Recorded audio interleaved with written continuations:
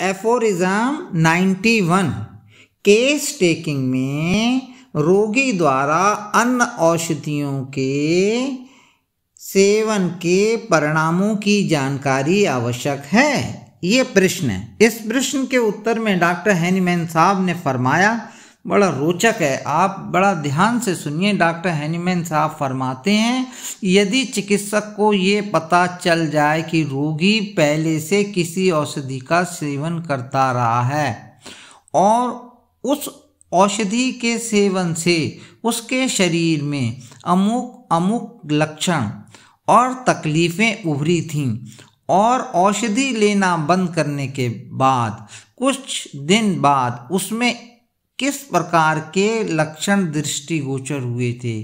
तो वह रोग के वास्तविक अवस्था का सही परिचय प्राप्त कर सकता है।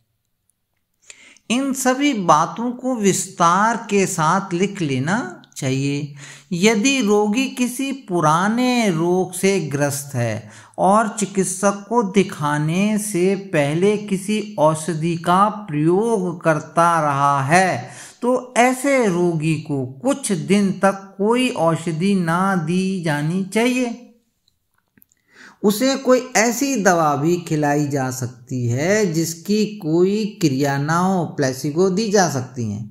ऐसा करने से कुछ दिनों के अंदर ही पुरानी बीमारी के सभी लक्षण फिर उभर आएँगे, तथा चिकित्सक के समक्ष रोग के सभी यथार्थ लक्षण उजागर हो जाएँगे। Doctor Sarpal, homeopathy. बड़ा इंपॉर्टेंट चीज़ है। इसके परिणाम से योगा कि रोग के सभी लक्षण पूरी तरह से उभर आएँगे, और चिकित्सक के सामने रोग का पूरा संपूर्ण चित्र उभर आएगा।